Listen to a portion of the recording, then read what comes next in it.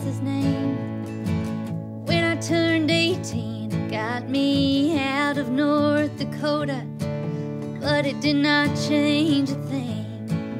I left it in the yard, all covered up with snow.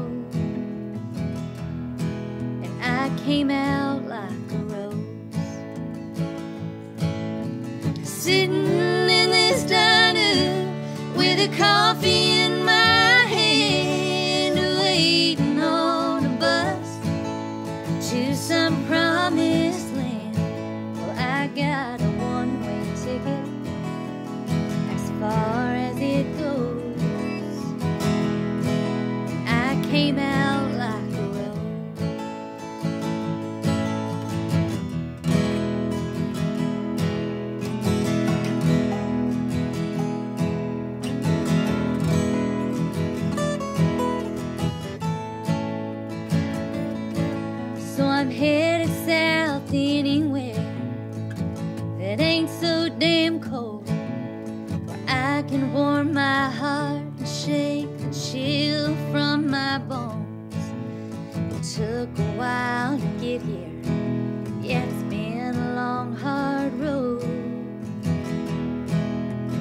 came out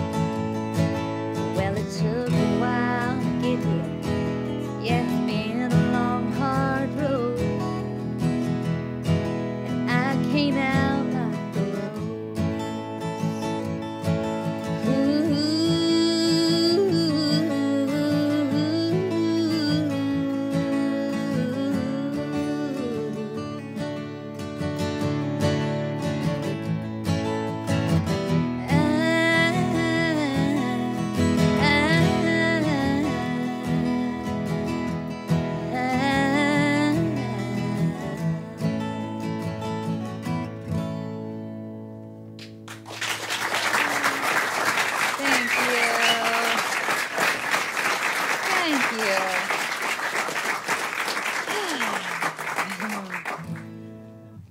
that don't cheer you up. I don't know what will. um, all right, I'm going to do another one off Like a Rose that I actually co-wrote with Karen Fairchild from Little Big Town. And I was, uh, gosh, this was probably four years ago. But I was asleep in bed and this melody woke me up and I, it was so real and it was so loud. Um, and the words were in my head too. So I wrote down as much as I could, went back to sleep, and woke up. And Karen Fair, Fairchild came over the next day to write, and I said, "You know what? This has just been haunting me." So um, she wrote it with me, and it kept on haunting me. And Little Big Town sang it with me on on my record, and um, here it is. It's called "You Got Me."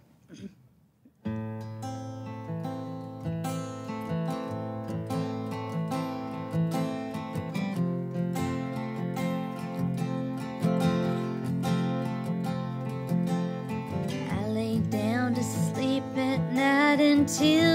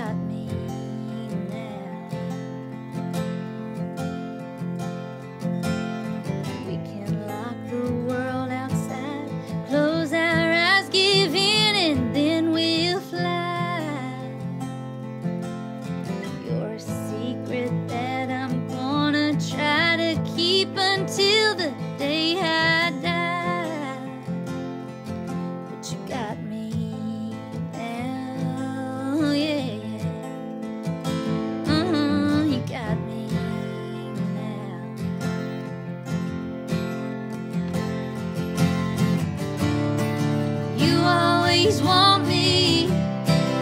You run straight for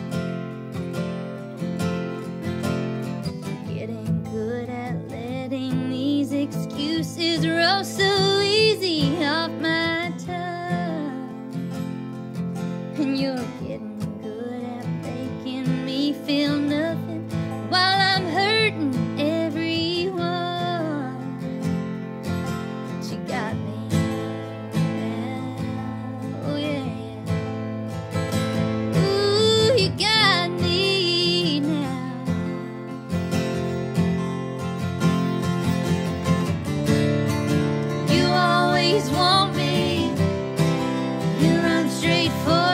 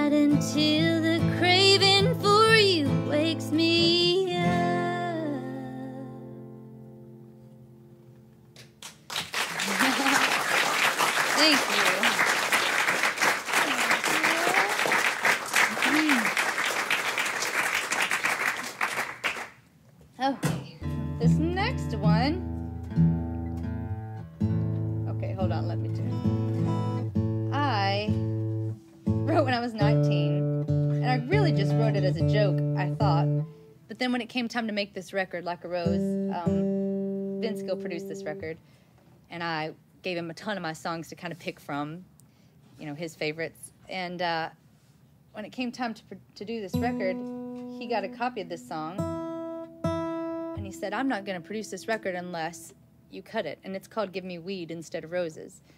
And um, I was, and I kind of laughed when he when when he said that because I thought there's no way, you know, Vince Gill's wholesome and he's married to Amy Grant, and there's no way that he would let me say these things.